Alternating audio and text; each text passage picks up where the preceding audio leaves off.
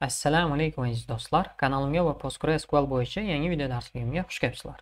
Bugungi video darsligimizda biz sizlar bilan ma'lumotlarni limit bo'yicha tanlash va tartiblash haqida gaplashib o'tamiz. Darsimizda bo'limlari bor. Limit clause haqida, limit clausedan foydalanish, order by clause hamda order by clausedan foydalanish. Unda darsimizni boshlaylik. Birinchi o'rinda limit clause haqida gaplashsak. Limit o'zi nima degan savol tug'iladi. Limit bu chegara sizlarda savol tug'ilishi mumkin. Databasda chegara nima uchun ishlatiladi? Misol uchun aytaylik e, sizlarda o'n mingta ma'lumot bor ya'ni o'n mingta yuzerlar haqida ma'lumot bor.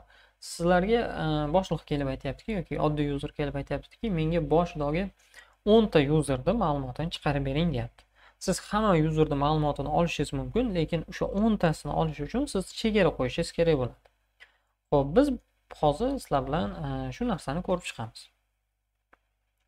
Mana menda select yurilishcha from student qilib barcha studentlar ro'yxatini olib olganman. Endi menda to'g'ri yettita ma'lumot bor xolos. Men shuning uchun limitdan sal kamroq chegara qo'yaman. Misol ikkita yoki uchta yo to'rtta bo'lishi mumkin. Endi kelinglar biz ma'lumot o'sha chegara bo'yicha olaylik. Ya'ni menga hamma ma'lumotni emas boshidagi to'rtta ma'lumotni chiqarib bersin. Ho'p buni yozishdan oldin sintaksisini yozilishini ko'raylik.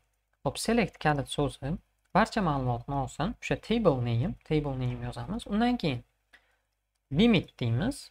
Va bu yerga o'sha bironta bir number yozamiz. Ya'ni limitimiz o'sha nechta qatorgacha bo'lgan ma'lumotni chiqarib berishligi haqida.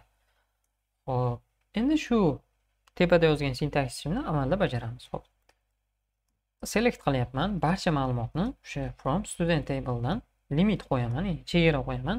Boshidagi to'rtta ma'lumotni ko'ryapsizlar queryni ishga tushirishim bilan mana menga boshidagi to'rtta ma'lumotni ekranimga chiqarib berdi. Ya'ni boshidagi to'rtta ma'lumotni olib qoldi xolos. Mana barcha ma'lumotni olyapman. Barcha ma'lumotni olsam bu birinchi ma'lumot bu ikkinchi bu uchinchi bu to'rtinchi.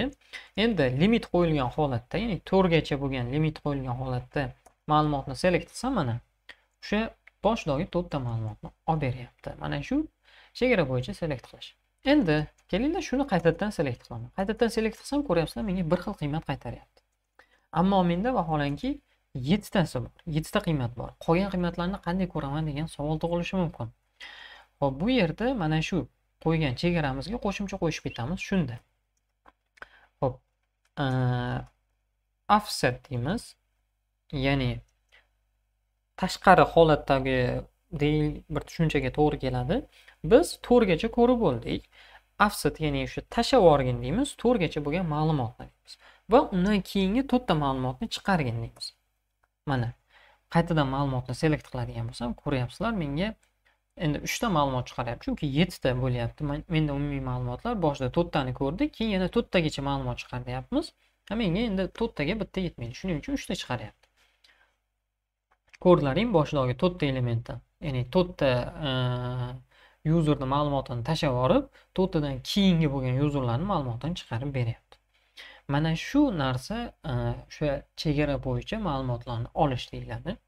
Ho'p bu haqida sizlar bilan gaplashdik. Buni endi mm, keyinchalik o'sha funksiyalar o'tamiz. Funksiyalar o'tganda buni bitta funksiyaga yozib e, foydalanamiz. Shunda ancha foydalanish bizga qo'l keladi. Ho'p bu yerga demak chegaralar soni ya'ni sizga o'sha nechta kerakligi va bu yerda o'sha ko'rib bo'lgan ma'lumotlaringizni tashlab olish uchun e, tartib raqami yozasiz. Endi ko'rgan ma'lumotlaringizni tashlab olish uchun tartib raqami asosan mana bu limit tartib raqamiga teng bo'ladi. Misol uchun limit o'nta bo'lsa offset o'n qiladigan bo'lsangiz o'nta ma'lumot chiqarib beradi. Boshidagi o'nta ma'lumotni ko'rsatmagan holatda yoki boshidagi o'nta ma'lumotdan keyingi o'nta ma'lumotni chiqarib beradi sizlarga. Ho'p demak sizlar bilan limit clause haqida gaplashdik limit clausedan foydalaning endi keyingisi order by clause haqida. Sizlarda savol tug'iladi. Order by clause o'zi nima? Order by bu shunchaki ma'lumotlarni tartiblash. Ya'ni qanaqa tartiblash? Agar ma'lumot e, harfdan iborat bo'ladigan bo'lsa alfabet tartibida boshidan oxirigacha oxiridan boshiga qarab tartiblash e, raqam bo'ladigan bo'lsa o'sib borish yoki kamayib borish tartibida tartiblash. Mana shu narsa e, order by deyiladi. Order by clause deyiladi. Demak bu haqida tushuncha bo'ldi. Endi kelinglar order by clausedan foydalanishni ko'rib chiqsak uni sintaksini yozaman. Order by clausedan dan e, foydalanish sintaksisi doimgidek bir xil select from table name table name undan keyin order by kalit so'zi hamda column name ya'ni o'sha ustun nomi va mana bu joyga qanaqa tartibda e, ma'lumotlarni tartiblashingiz ya'ni o'sib borish tartibidami kamayib borish tartibidami yoki alifboni boshidan oxiriga qarabmi yo oxiridan boshiga qarabmi? O'zi ikkita turi bor. Asc bu e, alifboni boshidan oxiriga qarab yoki o'sib borish tartibi tartibidagisi shuni desk degani bor. Bu kamayib borish yoki alifboni teskaridan boshiga qarab e, boshiga qarab holdagi tartiblanish.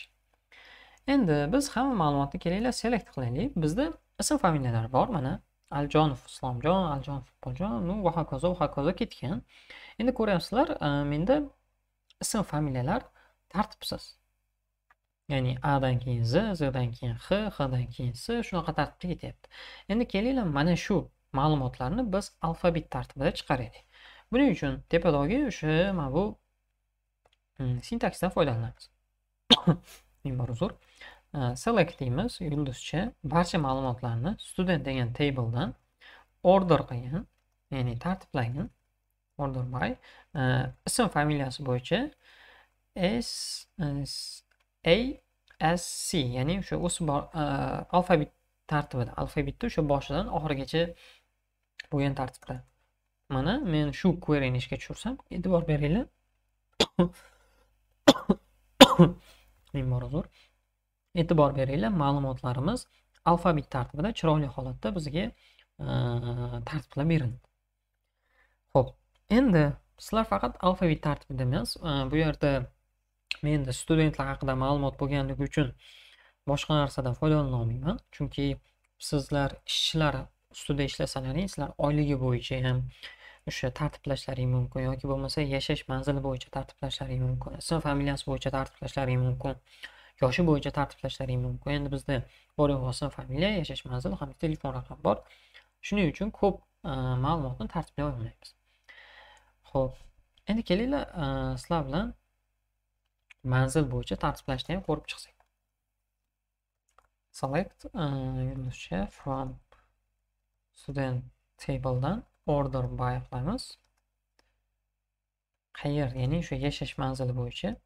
Ho'p Ko'rsalaring Andijon, Farg'ona, Namangan, Toshkent bu ham o'sha alfabet tartibida ketdi. Lekin sizlarda bitta savol bo'ldi.